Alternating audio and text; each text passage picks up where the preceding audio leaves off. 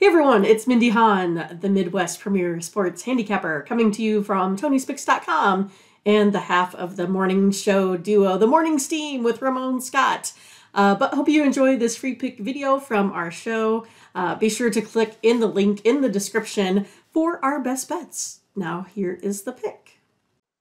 All right, it's the game of the day, the game of the week. I guess so. And the Dallas Cowboys on the road against the Minnesota Vikings. Cowboys one and a half total, 48 and a half. Uh, yep, hot matchup.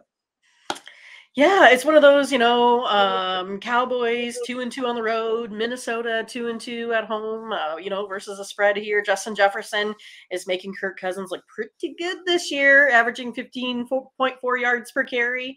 Um, you know, he did have that game saving catch there last week there as well. Uh, but, you know, I kind of tend to think that uh, the Vikings might do a little bit more groundwork here today with that, uh, you know, number three Dallas defense in there. Um, you know, it's one of those uh, that uh, this one here just kind of trends a little bit to you know the underdog. Underdog is five and zero oh in this matchup. Um, you know, Cowboys are three and eight in the last eleven meetings in Minnesota. They're also two and five of the last seven in Minnesota.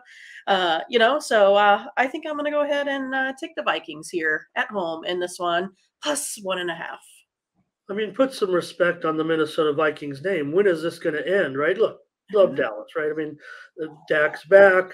They're you know Philly is having uh, Philly looks susceptible. The stock on Dallas is rising. There's no doubt about that. But Minnesota right now, I mean, at home, uh, and also they've done very well against Dallas. I mean, they're not getting the respect still. I think that they deserve.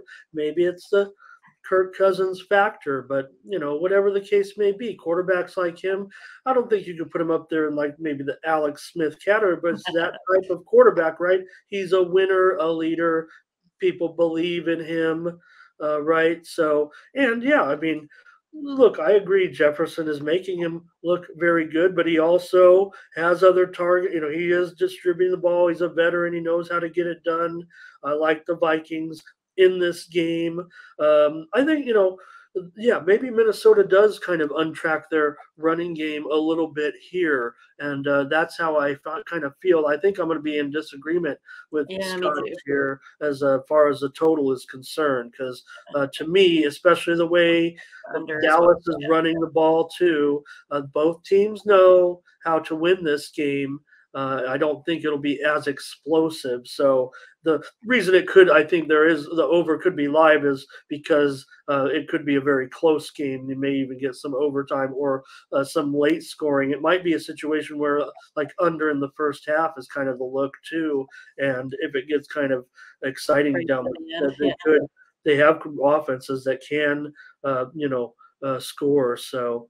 Uh, anyways, uh, Mindy, let's take Minnesota and All have right. a second pick on that one.